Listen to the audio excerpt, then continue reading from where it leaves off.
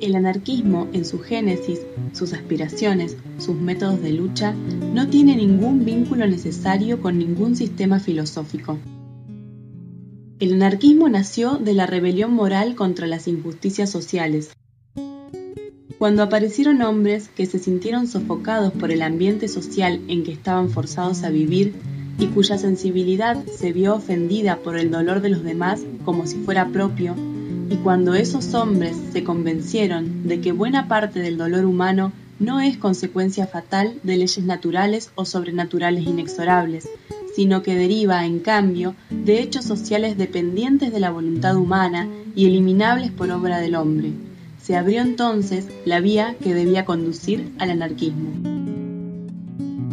Era necesario investigar las causas específicas de los males sociales y los medios para destruirlas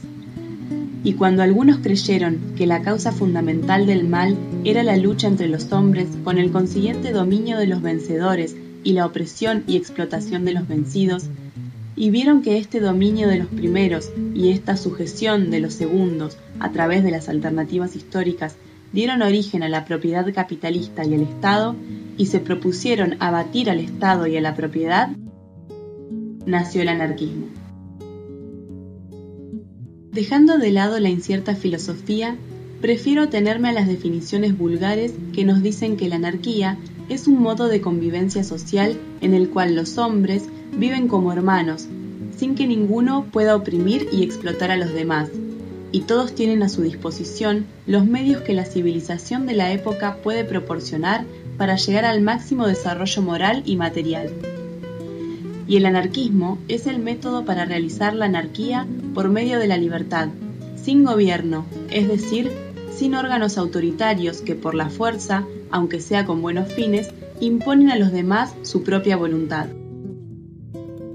Anarquía significa sociedad organizada sin autoridad, entendiéndose por autoridad la facultad de imponer la propia voluntad, y no ya el hecho inevitable y benéfico de que quien mejor entienda y sepa hacer una cosa llegue más fácilmente a lograr que se acepte su opinión y sirva de guía en esa determinada cosa a los que son menos capaces que él.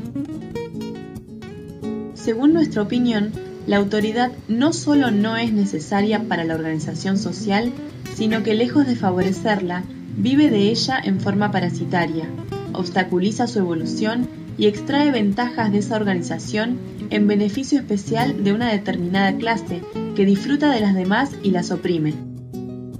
Mientras en una colectividad hay armonía de intereses, mientras ninguno desea ni tiene manera de disfrutar de los demás, no existen en ella rasgos de autoridad. Cuando ocurre la lucha intestina y la colectividad se divide en vencedores y vencidos, surge entonces la autoridad, que va naturalmente a parar a manos de los más fuertes y sirve para confirmar, perpetuar y engrandecer su victoria. Sustentamos esta creencia y por ello somos anarquistas, pues si creyéramos que no puede haber organización sin autoridad, seríamos autoritarios, porque seguiríamos prefiriendo la autoridad que traba y entristece la vida antes que la desorganización que la torna imposible. Nosotros tenemos en vista el bien de todos, la eliminación de todos los sufrimientos y la generalización de todas las alegrías que puedan depender de la obra humana. Tendemos a la paz y al amor entre todos los hombres, a una civilización nueva y mejor, a una humanidad más digna y feliz. Pero creemos que el bien de todos no se puede lograr realmente sino mediante el concurso consciente de todos. Creemos que no existen fórmulas mágicas capaces de resolver las dificultades,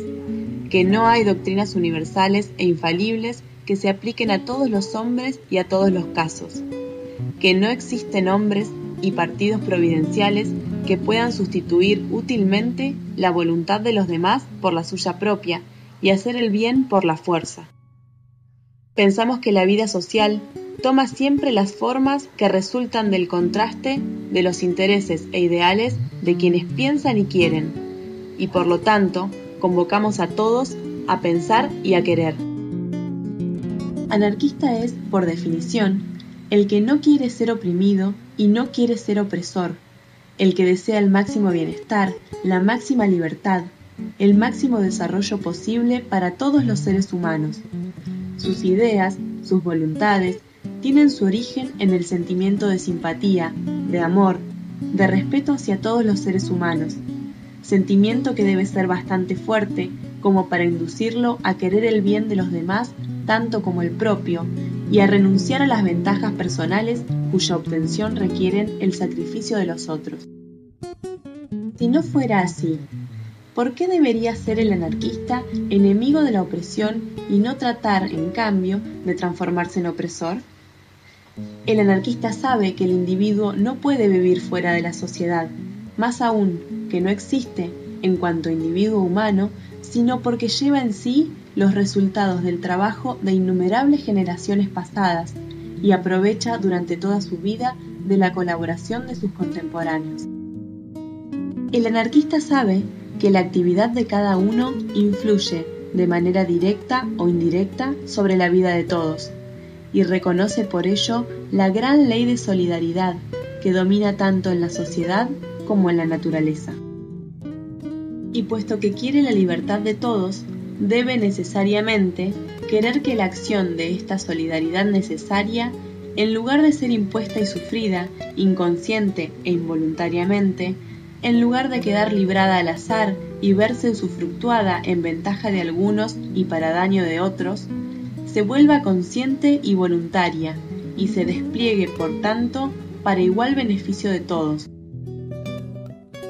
O ser oprimidos o ser opresores,